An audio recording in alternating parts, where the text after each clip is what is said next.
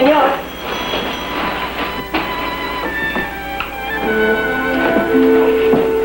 I got something for you. Better than the medicine for the hands. Something for who?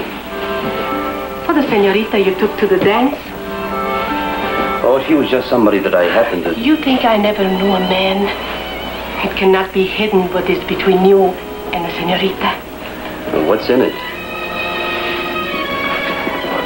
A nightgown made of the finest silk with the most beautiful lace. It came from Spain many years ago. How much? I am not always a storekeeper, senor. Pray to accept it as a gift.